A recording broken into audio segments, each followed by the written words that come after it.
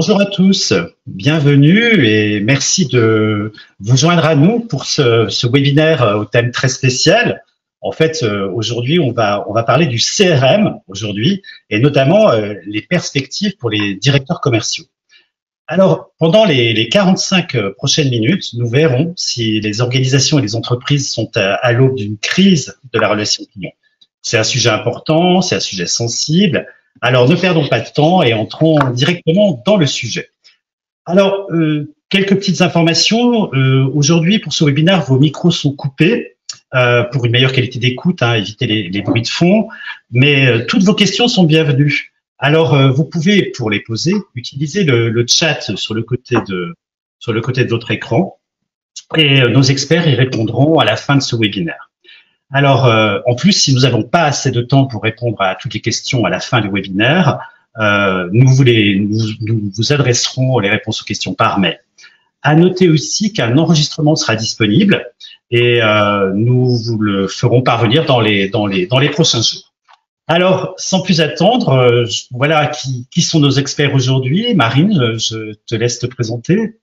Merci Gilles. Alors tout d'abord, merci à tous euh, de nous rejoindre aujourd'hui. Euh, on est ravis de faire ce webinaire avec vous. Je suis donc Marine Toutenin, directrice commerciale France Sugar CRM. Alors pour la petite histoire, j'ai rejoint Sugar il y a un peu plus de cinq ans, mais ça fait dix ans que j'œuvre sur le marché du CX, donc une grande passionnée euh, d'expérience client. Olivier. Olivier aussi. Merci.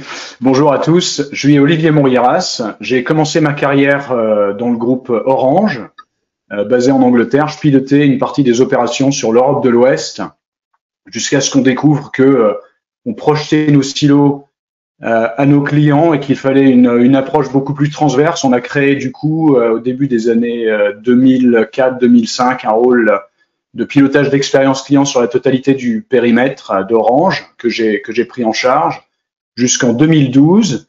De 2012 à 2017, j'étais responsable de directeur de l'expérience client dans un groupe euh, d'énergie en Allemagne euh, qui s'appelle E.ON. Euh, donc tout segment confondu, qui, qui comptait à l'époque 23 millions de clients, ils en ont aujourd'hui 50. Et en 2017, j'ai souhaité commencer à partager mon expérience, mes connaissances, et j'ai fondé un cabinet de conseil qui s'appelle CX Impact, euh, et on, donc, on accompagne des entreprises dans leur transformation et le développement et, et le déploiement de stratégies clients sur tous les segments et à travers euh, tous les continents. Ok, merci Olivier, merci Marine. Alors moi, quelques mots, je m'appelle Gilles Lyonnais, je suis euh, consultant pour la France pour une agence de conseil en relations publiques qui s'appelle Berkeley Communication. Voilà. Alors, le programme aujourd'hui, euh, sans plus attendre, euh, bon, c'est une discussion ouverte entre, entre nos deux experts et euh, ils vont aborder bah, d'abord l'état actuel du CRM, hein, où est-ce qu'on en est, un petit focus sur quels sont les angles morts et les obstacles qu'on peut rencontrer, et puis, ils, échangeront aussi autour du taux de désengagement des clients. Ça, c'est une problématique importante. Et puis, ils parleront aussi des, tendances et des attentes euh, du CRM. Alors, à la fin euh, de leurs interventions, nous, aurons une partie de questions-réponses. Hein, euh, toutes vos questions sont bienvenues, je le rappelle. Et pour vous, pour vous motiver, euh, nous proposons à, cinq d'entre vous qui auront posé le plus de questions, eh bien de, recevoir ce, livre formidable qui s'appelle Lève-toi et vent, qu'a écrit Nicolas Caron, et qui est bah, un ouvrage qui, a été l'ouvrage coup de cœur du prix euh, DCF du livre de la, fonction commerciale et qui est toujours, bah, en fait, depuis de nombreuses années en tête des ventes Amazon. Voilà. Donc, posez vos questions sur le chat, n'hésitez pas. Et voilà, ceux qui en poseront le plus se verront offrir un des cinq livres Lève-toi et vends. Alors, sans plus attendre, bah, je passe la parole maintenant à Marine bah, écoute, euh, merci Gilles pour cette introduction et merci encore à tous hein, d'avoir pris le temps de participer à cette session aujourd'hui. Euh, les sujets que nous allons aborder au cours de la prochaine heure sont tous basés sur une étude que nous avons réalisée. Hein. Euh, l'ensemble des résultats et le rapport qui les accompagne, intitulé Rapport d'impact du, du, CRM sur les ventes, sont disponibles en téléchargement gratuit sur notre site web. En fait, le rapport a été élaboré sur un panel de 1000 directeurs commerciaux au niveau mondial, hein, dans de nombreux secteurs d'activité différents, tant dans le domaine du B2B que dans le domaine du, du B2C. Et à travers cette enquête, on a essayé de comprendre comment la technologie transforme les attentes des leaders commerciaux et de leurs clients. Euh, les obstacles qui causent des frictions hein, au sein même des équipes de vente et qui contribuent au désengagement des clients. Donc les données, les informations sur les clients nécessaires pour rester compétitifs et évidemment gagner des parts de marché. Alors, avant de nous plonger dans le contenu euh, du rapport, euh, rebonjour Olivier, euh, voulez-vous nous donner votre point de vue sur les raisons pour lesquelles vous pensez que les entreprises doivent réfléchir sérieusement au domaine de l'expérience client, de la fidélisation et de la rétention des clients, en particulier dans cette crise hein, que nous vivons et dont nous sortons péniblement? Oui, Marine. Euh, donc l'expérience client, c'est un sujet qui, euh, qui est très très populaire. On en parle, on en parle beaucoup aujourd'hui et ça doit véritablement être au cœur euh, de la stratégie des entreprises qui souhaitent qui souhaitent se développer avec avec succès. Je voudrais citer un certain nombre de facteurs et en particulier tout d'abord le facteur économique. On sait qu'un client satisfait, donc c'est le résultat d'une expérience client positive, va acheter davantage va acheter plus fréquemment et, euh, et probablement plus de services. Donc on parle d'augmentation du panier moyen et d'augmentation de la valeur du cycle de vie du client. Donc ça, c'est un premier, un premier facteur de croissance. Euh, le deuxième facteur de croissance que je souhaiterais citer, c'est euh, la prescription. Des clients qui ont une expérience positive sont des ambassadeurs. Ils vont vous recommander et ainsi ramener avec eux leurs proches, leurs relations. Euh, donc ça, c'est un facteur de croissance. Il y a aussi un facteur qu'on oublie souvent, c'est euh, le facteur de réduction de coûts. Un client satisfait coûte beaucoup moins cher qu'un client satisfait. Du coup, ça contribue non seulement une augmentation, enfin une amélioration de votre expérience client, contribue à augmenter votre chiffre d'affaires, mais également améliorer votre, votre marge. Donc ça, c'est un premier facteur qui est économique. En France, on est assez cartésien et souvent on confond l'excellence opérationnelle avec l'expérience client. Alors je pense que les deux sont assez indissociables. L'excellence opérationnelle, c'est un prérequis avant de pouvoir fournir une, excellent, une, une, une expérience client positive. Or, si on s'attache simplement à l'excellence opérationnelle, eh bien on peut passer à côté de besoins fondamentaux des clients. Ça ne suffit pas, il faut être pertinent et répondre euh, non seulement à la ponctualité, au, aux besoins fondamentaux euh, des clients vis-à-vis de vos services et de vos produits, mais aller plus loin et les aider à faire ce qu'ils ont à faire dans leur journée, à résoudre euh, leurs problèmes. Donc ça, c'est le deuxième facteur, aller au-delà de l'excellence opérationnelle. Et Marine, vous mentionnez que vous mentionnez le contexte, qui est un peu différent évidemment depuis 15 mois. C'est vrai, je pense que le fossé entre l'expérience euh, souhaitée par les clients et celle qui est évidemment livrée et in fine perçu par les clients, s'est accru depuis 15 mois parce qu'on a, on s'est focalisé sur euh, la réparation de parcours, de process, de systèmes qui étaient devenus obsolètes étant donné que le contexte sanitaire l'imposait. On a dû beaucoup s'adapter pour livrer le service de base. Or, en même temps, nos clients ont eu des attentes qui ont monté et du coup, je pense, le fossé entre l'expérience souhaitée et l'expérience reçue et perçue par les clients s'est accrue. Donc il y a une urgence euh, qui, est, euh, qui est accrue également. Enfin, avec la digitalisation des services que l'on a vu s'accélérer très très rapidement depuis, depuis 15 mois, il est plus facile pour un client de changer de fournisseur, comme on dit, de, de switcher. Donc voilà pour moi les raisons pour lesquelles il est vraiment important maintenant, c'est critique de placer l'expérience client au cœur de sa, stratégie parce qu'il y a des facteurs économiques, parce qu'il est important de se différencier, pas simplement fournir le service, de combler ce fossé qu'il y a entre l'expérience souhaitée et l'expérience reçue afin de retenir ou de fidéliser plutôt vos clients. Voilà Marine. Merci hein, Olivier pour cet aperçu euh, fascinant. Hein. L'un des premiers euh, résultats de notre rapport d'impact est, que 52% des dirigeants d'entreprises dans le monde hein, admettent que leur système CRM leur coûte de l'argent. Olivier, est-ce que vous pensez que la technologie CRM traditionnelle traîne les entreprises? J'ai euh, alors lorsqu'on interroge des commerciaux, évidemment, on peut s'attendre à ce qu'ils disent que le CRM et les tâches bureaucratiques, peut-être lourdes, sont euh, pas leur tasse de thé. Donc, je pense que le, la conclusion dans le rapport n'est pas une surprise. Euh, fondamentalement, et, tout le monde sera d'accord sur ce sujet. Or, quand on plonge dans le rapport, qui est d'ailleurs assez détaillé, d'une très grande qualité, euh, on s'aperçoit que euh, l'ergonomie des CRM et des logiciels qui aident à la gestion de la relation client a beaucoup d'améliorations à faire. On ne prend clairement pas en compte, le contexte de vie des commerciaux qui sont nomades, qui passent beaucoup de temps en transit. Du coup, le temps administratif est très court. Euh, donc, on n'est pas centré utilisateur dans la conception, visiblement, des logiciels. L'ergonomie a beaucoup d'améliorations à, à, à. Donc, ça, à mon avis, c'est un premier, un premier facteur. Le deuxième, c'est que euh, lorsqu'on va à une réunion avec un client, une entrevue, et en tant que commercial, on est vu par le client comme interlocuteur privilégié qui doit tout savoir sur la relation entre le client et, l'entreprise. Or, le commercial, ce que l'on voit dans le rapport, c'est qu'on n'a pas accès de à 360 degrés à toutes les informations nécessaires qui permettraient d'avoir cette conversation pertinente et parfaitement informée lors de la rencontre avec un, client. Donc je pense que euh, nos commerciaux sont doublement dissuadés par le manque d'ergonomie du système et par le manque de données pertinentes de, ben, de l'utiliser, ce qui fait qu'on a cette perception que on a une perte de revenus parce qu'on a une perte de temps, Marine.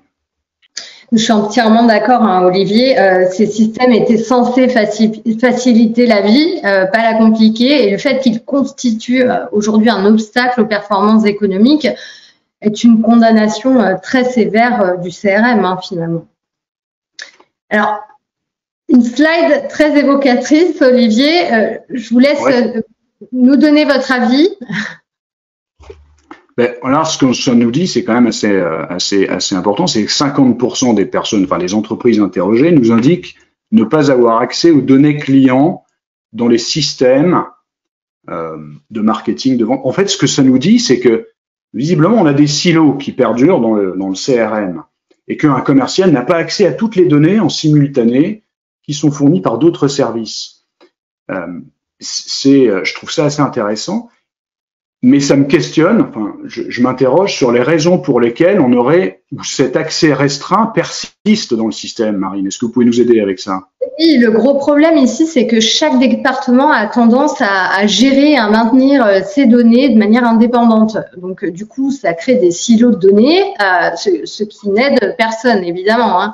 Mais la situation est encore pire, car on a vu un près d'un tiers des entreprises euh, nous ont également dit que les données de leurs clients étaient incomplètes, obsolètes ou inexactes. Donc là, la situation est, quand même alarmante. Euh, donc, on est en train de dire, Olivier, finalement, euh, c'est que nous sommes que, l'expérience client est un enjeu vital hein, pour les entreprises. Vous êtes d'accord? Euh, l'expérience client, c'est euh, critique. En fait, euh, c'est une discipline qui doit faire partie intégrante de, de l'entreprise et de sa stratégie aujourd'hui. on a besoin de répondre, comme j'avais dit, au, de mieux connaître ses clients et de mieux répondre à leurs besoins pour les fidéliser. Donc, on a besoin d'avoir accès à nos, à nos, à nos données en temps réel et de façon holistique, hein, de sorte qu'on puisse euh, comprendre tout ce qui se passe dans la relation avec son client. Euh, on, on, voit que de plus en plus, il est simple pour nos clients de changer de prestataire. Euh, on profitait parfois de, euh, de relations, euh, disons, ou, ou, du fait qu'il est difficile de switcher. Aujourd'hui, c'est devenu beaucoup plus fluide. Donc, je pense qu'on a une double frustration entre nos clients qui ont des attentes qui sont plus élevées et puis nos commerciaux ou nos personnels en contact plutôt de façon large eh ben, qui souhaitent pouvoir mieux servir leurs clients. Et il me semble, de ce que je pense euh, à travers nos clients, mais aussi de ce que je lis, qu'on a, on est à l'aube d'une crise euh, plus sévère que celle qu'on a pu connaître dans le passé de la relation client, mm. de par cette, de par cette frustration. Euh, pour, pour mieux répondre à votre, à votre question et parler des obstacles qui entraînent des difficultés dans les ventes, si on pense que 70% aujourd'hui, c'est ce qui est communément communiqué par les cabinets de, de, conseil, 70% des plans de transformation échouent pour un certain nombre de raisons. Je me demande quelle est la part que prennent euh, les logiciels, les systèmes dans, cette, euh, dans, cette, euh, dans ce volume d'échecs. Ça me semble, euh, je pense, un point, un point important parce que souvent, des entreprises prennent le système, le CRM, comme point d'entrée de leur transformation. Alors qu'il s'agirait, il me semble, de prendre plutôt euh, comme point d'entrée la connaissance des clients, très intime, et de leurs besoins, de sorte qu'on puisse les aider pour générer un moteur de croissance. Et ça, ça me semble très très important, Marine. Et du coup, pensez-vous que trop peu d'entreprises ont une, vision vraiment claire du type d'expérience client qu'elles veulent, qu'elles veulent offrir et que c'est ce, qui explique hein, leur, leur, mauvais choix technologique et leur problème de partage de données? Ben, Je pense que ça, c'est un point fondamental qui est assez méconnu d'ailleurs. Euh, parce que c'est assez, assez sophistiqué, mais il s'agit effectivement, donc lorsqu'on connaît bien ses clients et les besoins de ses clients, on connaît leurs attentes et du coup, il s'agit de créer l'expérience souhaitée qui va répondre à leurs besoins. Et euh, je pense que c'est un prérequis dans une entreprise dès lors qu'elle souhaite rénover ses systèmes, rénover ses processus, ses ressources internes. Euh, si on ne connaît pas la destination, ce que l'on souhaite faire, ben, il va être difficile de pouvoir créer euh, des systèmes, des processus à bon escient. Donc c'est un passage absolument obligé, oui. Hmm. Et le, rapport en plus indique qu'un peu plus de la moitié des, euh, responsables commerciaux pensent que le CRM leur fait perdre euh, du revenu, hein, des parts de marché, du chiffre d'affaires, euh, ce qui est assez stupéfiant quand on y pense, euh, puisque c'est pas l'objectif à la base. Quels sont les obstacles, les angles morts auxquels vos clients sont généralement confrontés? On a, euh, alors dans notre dans notre client, donc ça complète quand même assez bien euh, ce qui est ce qui est euh, ce qui est dit dans le rapport. Et donc je vais pas tout répéter, mais ce qu'ils nous disent en plus, c'est que on a clairement un manque de connaissances clients. et d'ailleurs la data dans le CRM est si elle est incomplète, eh bien du coup on aura une connaissance client incomplète. Si elle est silotée, on aura une connaissance client silotée. Donc ça c'est une des premières choses qu'ils nous disent. Euh, on n'est pas très clair sur ce que les clients cherchent à faire. Euh, et donc ça, c'est une première, euh, c'est une première frustration qu'ils évoquent. La deuxième frustration qu'ils évoquent, c'est que on n'a pas de contexte historique. Et n'ayant pas ce contexte historique, c'est difficile d'établir des projections. Et ce que j'entends par là, c'est des liens de causalité entre des faits qui se produisent dans le passé et des comportements futurs.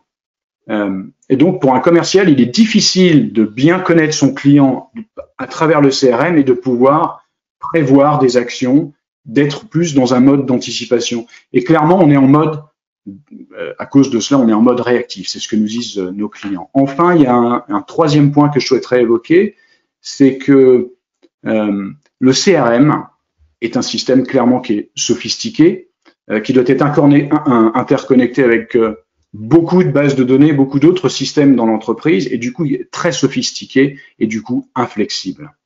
Pour des entreprises, par exemple, qui ont un, processus de vente très spécifique, parce que leurs clients ont des besoins spécifiques, il aurait difficile d'adapter leur CRM, et ce qui implique avoir des euh, manipulations très chronophages, enfin, des, des, interventions manuelles très chronophages, ce qui explique d'ailleurs les chiffres que l'on a vus euh, auparavant, et, euh, et, ça fait clairement partie de leur, de leur frustration, c'est que le système n'est suffisamment pas flexible.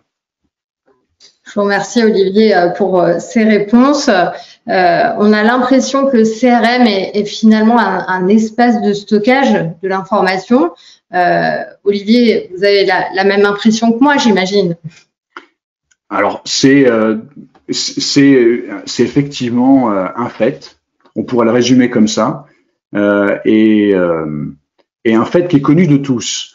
Du coup, on, se, pose la question de savoir, mais pourquoi est-ce que les constructeurs ou les producteurs de logiciels euh, n'écoutent pas ce fait? En fait, c'est connu de, tous, mais qu'est-ce qui empêche les fournisseurs de pouvoir développer quelque chose qui va plus centré sur l'utilisateur? Pourquoi est-ce qu'ils n'écoutent, est-ce qu'ils n'écoutent pas ce, ces retours et construisent de façon plus intuitive je, pense que le problème est lié à, la proposition de valeur initiale du, du CRM. Hein. Euh, à l'origine, le CRM était euh, destiné aux dirigeants. Euh, parlons plus directement, c'était clairement un outil de flicage, hein. donc pas du tout orienté utilisateur, pas du tout ergonomique. Hein, vous en parliez tout à l'heure, Olivier. Euh, des outils qui ne se souciaient pas du tout de l'adoption. Euh, donc, on, voulait un maximum de données uniquement pour suivre l'activité euh, du commercial, des employés. Les employés n'avaient aucune envie de renseigner cet outil compliqué à utiliser, pour vraiment de valeur ajoutée et qui en plus nécessitait beaucoup de main-d'œuvre pour le faire communiquer avec des systèmes tierces. Et beaucoup d'outils, on, on, le voit, hein, beaucoup d'outils fonctionnent de cette manière aujourd'hui. On a donc un système qui nécessite beaucoup de manipulation pour les utilisateurs, beaucoup de saisie, qui fait perdre beaucoup de temps euh, du coup, euh, et les commerciaux donc moins de temps dédié à ce qui est vraiment essentiel pour eux, c'est-à-dire la vente et la relation euh, client plus généralement. Hmm. Alors, abordons maintenant la, la, question de la perte de clientèle, hein, euh, des engagements euh, des clients, un sujet qui a été au cœur des préoccupations de la plupart des entreprises, si ce n'est pas toutes, au cours des, des 12 à 16 derniers mois. Avec la pandémie et les difficultés extrêmes rencontrées par la plupart des entreprises pour attirer de nouveaux clients, euh, il n'a jamais été aussi important de s'occuper de sa base de clients existants. On en parlait aussi hein, en début de présentation. Et pourtant, le, taux de désabonnement euh, semble être une, préoccupation majeure. On va passer à la slide suivante. Euh, vous en pensez quoi de cette euh, diapositive, Olivier? Ben En fait, elle confirme un peu ce qu'on a dit jusqu'à présent. C'est euh, on, a, on a une tension sur la relation client euh, et il y a un chiffre en particulier que je souhaite euh, mettre en exergue ici, c'est 56% des personnes intelligentes ont déclaré que le désengagement de leur clientèle avait augmenté au cours des 12 derniers mois et il leur coûte cher. Donc, donc ça confirme un peu ce que l'on a dit. Euh, mais je trouve, je trouve ce, en fait, je trouve cette diapo assez troublante et surtout un peu inquiétante parce que en fait, on n'en est, qu'au début, il me semble. Je pense que la fidélisation et la rétention vont être des sujets qui vont être euh, prioritaires euh, au sommet des priorités stratégiques des entreprises pour maintenant, mais probablement plus dans le futur. Et la raison pour laquelle euh, j'arrive à cette conclusion, c'est que on a pas mal d'aides gouvernementales aujourd'hui. On a clairement un rebond. On a une croissance économique qui est en accélération. D'ailleurs, on voit les taux d'inflation qui sont plus à la hausse. Euh, les prix des matières premières qui augmentent parce qu'il y a énormément de demandes. Euh, il me semble que lorsque les aides gouvernementales vont, vont, vont, se, vont être réduites, il me semble qu'on aura une baisse significative de la demande. Ce n'est pas simplement mon, euh, mon interprétation. Hein. Modestement, je, je, lis beaucoup et, et, je vous fais part un peu de mes, des, des conclusions de, de tous les rapports que j'ai pu lire. Mais on s'attend à une baisse de la demande et du coup à une pression sur l'offre qui va devoir se différencier. D'accord? Et du coup, c'est là qu'on a cette l'importance de la, de la différenciation par l'expérience client afin de pouvoir fidéliser les clients. Et j'insiste sur le mot fidéliser parce que, et je le mettrai euh, en opposition avec la rétention. Euh, la rétention, euh, c'est quelque chose que l'on pratique beaucoup aujourd'hui. Or, lorsqu'on est en démarche ou en logique de rétention, le mal est fait et votre client a déjà eu des frictions ou a déjà euh, eu des douleurs dans son parcours et ça coûte très très cher d'aller le retenir. Alors que si vous avez une position beaucoup plus proactive et que vous fidélisez vos clients tout au long de la relation, eh bien ça peut devenir un moteur de croissance formidable. Et donc je pense que ce chiffre-là est très très intéressant euh, et il faut aussi penser que en fait c'est le début d'une tendance et j'invite donc à, très fortement euh, je recommande vivement de placer l'expérience client dans une logique de fidélisation euh, des clients marines, de sorte qu'on soit beaucoup plus proactif.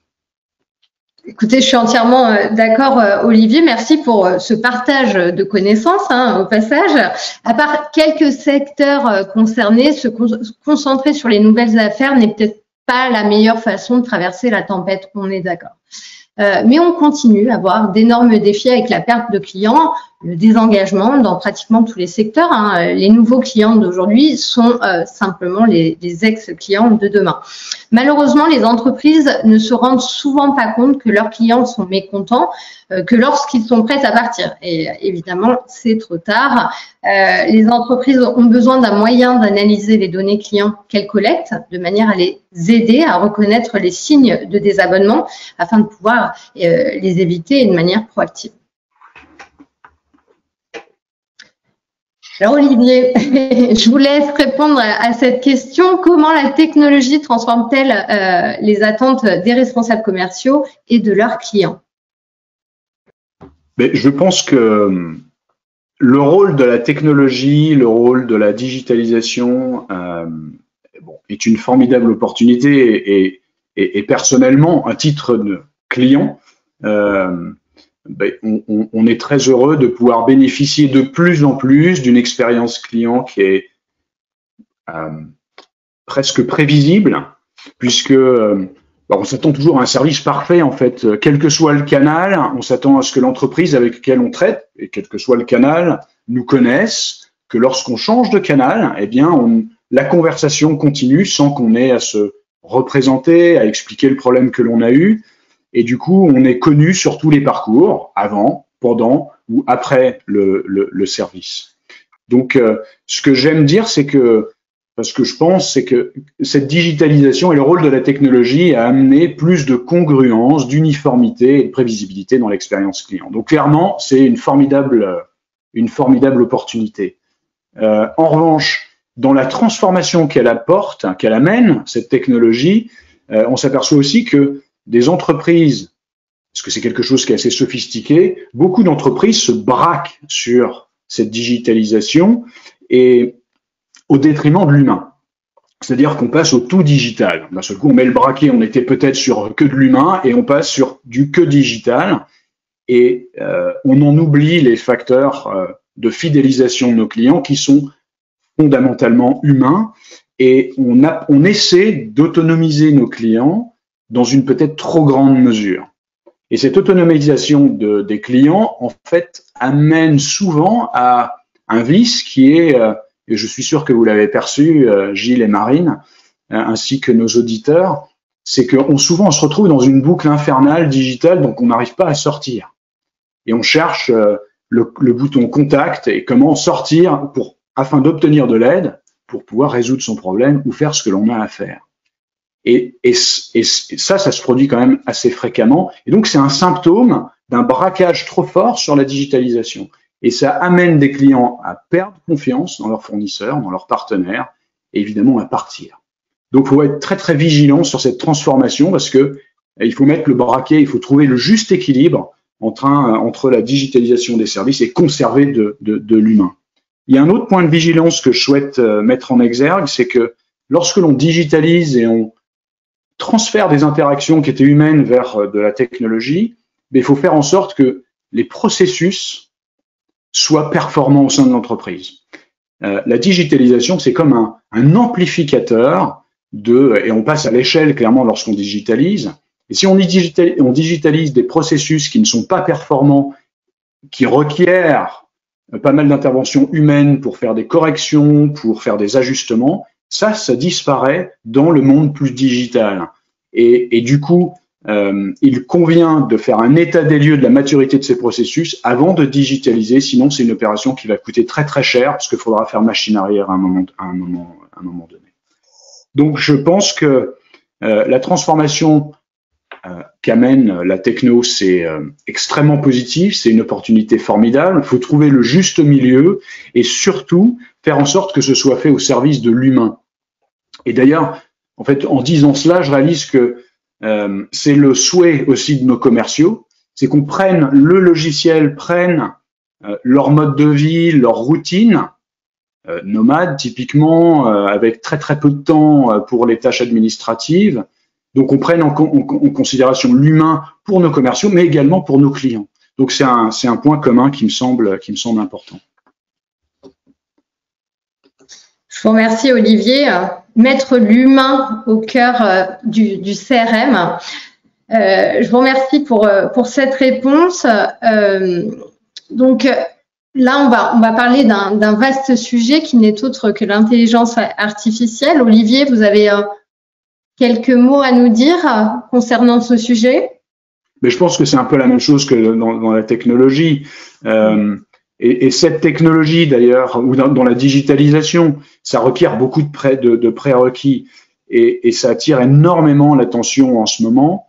Euh, et mais en y pensant, d'ailleurs, j'ai une petite question pour vous, c'est de savoir euh, dans quelle mesure est-ce que l'intelligence artificielle peut être une baguette magique? C'est bon, beaucoup d'automatisation de certaines tâches, mais dans quelle mesure est-ce que ça peut aider?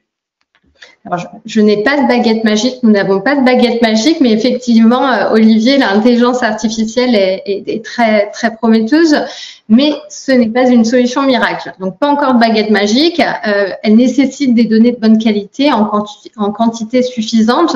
Donc, il faut d'abord s'occuper de ce problème en priorité. Elle peut être, elle peut nécessiter un investissement important, donc ça, ce n'est pas négligeable. Et en termes de logiciels, d'infrastructures, euh, de données euh, et d'expertise hein, en, intelligence artificielle aussi, hein, et de la manière dont elle est généralement proposée dans un contexte B2B, elle nécessite une vision très approfondie. Et malheureusement, l'intelligence artificielle n'est pas intégrée de manière aussi transparente euh, dans le CRM qu'elle ne l'est, par exemple, euh, dans votre téléphone portable. Euh, sur votre téléphone, vous utilisez l'intelligence artificielle aussi facilement que de poser une question à Siri ou Alexa. là, pour le coup, c'est vraiment différent. et pour de trop nombreux CRM, il s'agit d'un projet scientifique élaboré qui nécessite un investissement important en temps, en argent et en ressources. Hmm. Alors, on arrive à, la fin de notre séance d'aujourd'hui. Vous aurez évidemment du temps pour euh, poser vos questions dans quelques minutes. Euh, donc, on va passer en, revue les cinq points clés de ce que nous avons euh, abordé aujourd'hui. Je vous remercie d'ailleurs, Olivier, hein, pour votre aide et ces éclairages. Euh, tout d'abord, il est clair que nous sommes au bord de la crise de la relation client. En fait, beaucoup diraient que nous y sommes depuis un certain temps et que c'est seulement maintenant que nous commençons à, en parler et à, réaliser. Hein. Le deuxième point à retenir est que les données de notre étude montrent que les systèmes CRM existants euh, posent plus de problèmes aux organisations qu'ils n'en résolvent. Et, le troisième, Olivier, on vient d'en parler. c'est que euh, clairement, il y a beaucoup d'avenir avec l'intelligence artificielle, mais ça n'est pas, euh, c'est pas une solution miracle. Ça requiert pas mal de boulot en amont. Euh, quatrièmement, le point euh, clé ici, c'est que les professionnels de la vente, les commerciaux ont besoin de plus de flexibilité et d'intelligence dans leurs outils pour faire leur travail et aider leurs clients, aider leurs clients à résoudre des problèmes qu'ils souhaitent résoudre ou faire ce qu'ils doivent faire. Et enfin, euh, un point qui est, très très important, il me semble aussi, c'est que euh, ben, il faut se doter et investir dans une plateforme d'expérience client et qui soit moderne, flexible, parce que on a parfois des systèmes qui demandent cette flexibilité ou on a des, particularités qui demandent cette flexibilité et intelligente. je pense que dans ces plateformes-là, euh, un point important, c'est que euh, on doit avoir contrôle sur les données euh, et pouvoir faire du nettoyage et faire de l'intégration. Et donc, c'est une plateforme intégrée qui me semble importante euh, d'avoir. C'était le un des points, un des points clés de notre de notre de notre dialogue ce matin. Merci Olivier. Et là, je pense que on en est aux questions et réponses, Gilles, n'est-ce pas? Ah, C'est ça. Merci à tous les deux. Bon, on espère que tous les points que vous avez abordés euh, résonnent euh, auprès de notre auditoire aujourd'hui. Euh, je vois effectivement pas mal de questions. Merci à ceux qui les, ont posées. Et notamment une première, il y en a quand même pas mal qui se demandent, mais qu'est-ce qu'on peut faire pour, commencer à, nous attaquer au problème des données clients? Qu'est-ce qu'on peut faire pour débuter? Je vais prendre cette question. Merci de l'avoir posée. Euh, alors, euh, les problèmes liés aux données euh, sont variés et, complexes. il faut tout d'abord commencer par les bases.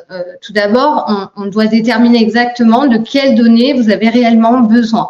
il peut être tentant de collecter tout, toutes les données, mais c'est finalement pas vraiment la bonne solution il est donc utile de réfléchir à ce dont vous avez réellement besoin. La définition des besoins nécessitera probablement la, participation de, tous vos services en contact avec la clientèle.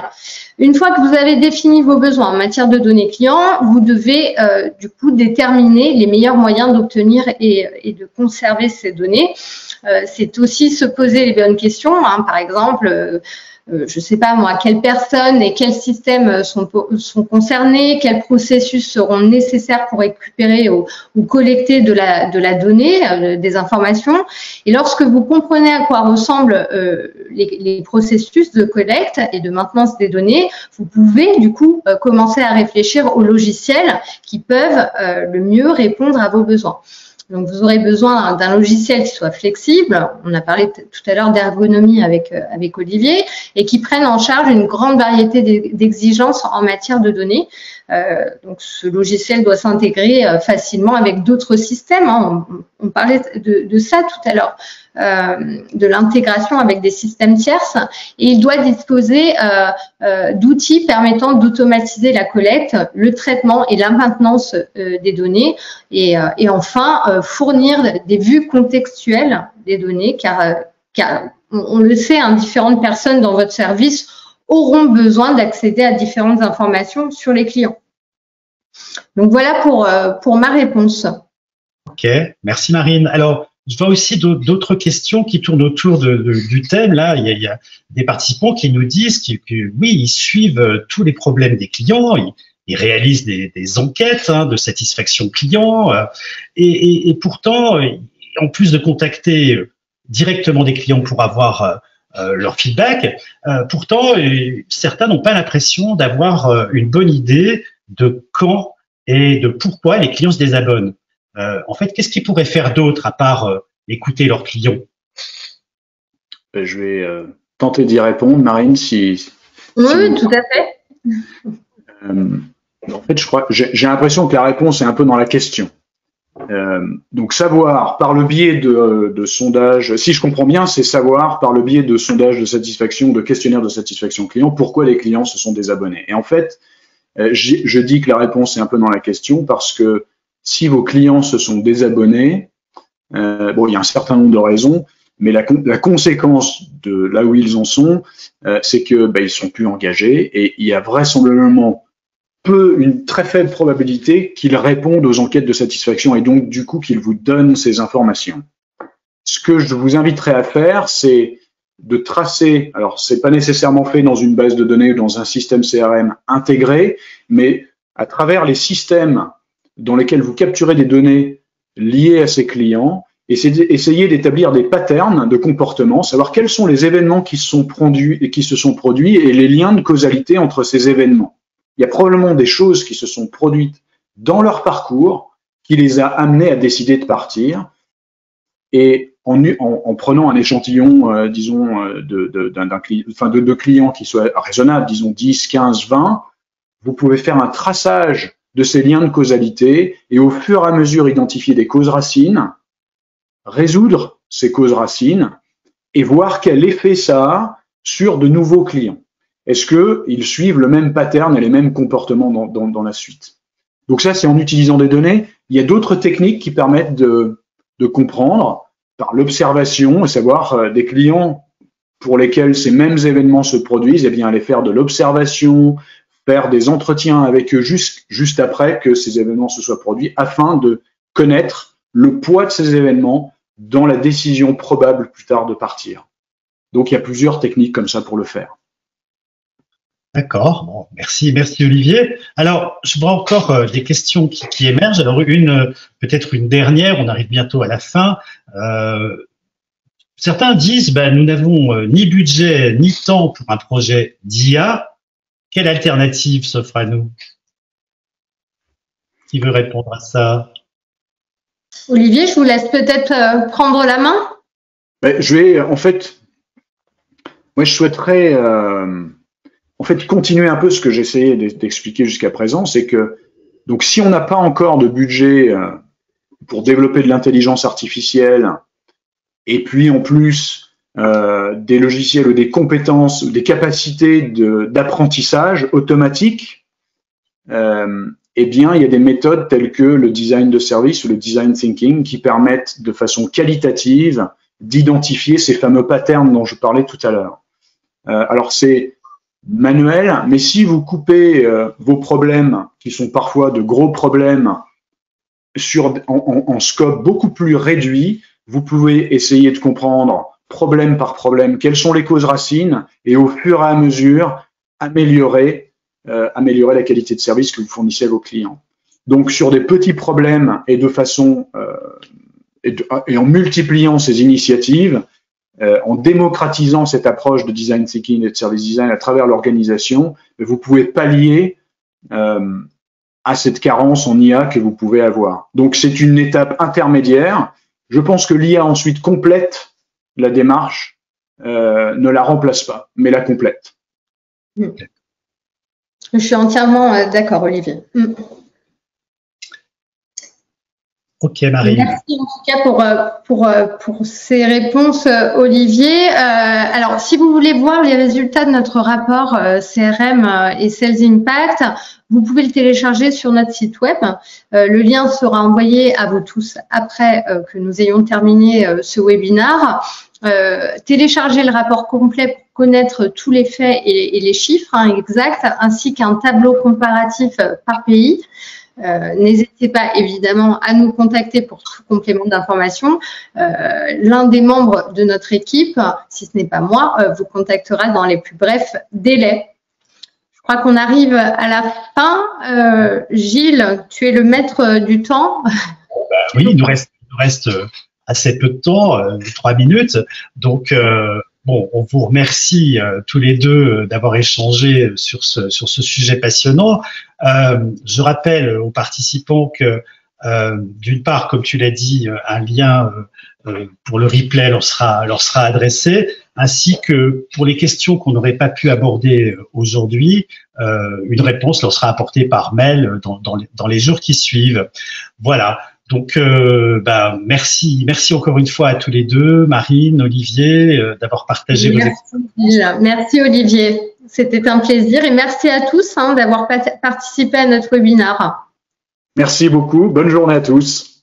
Bonne journée à tous, au revoir. Merci, Au revoir.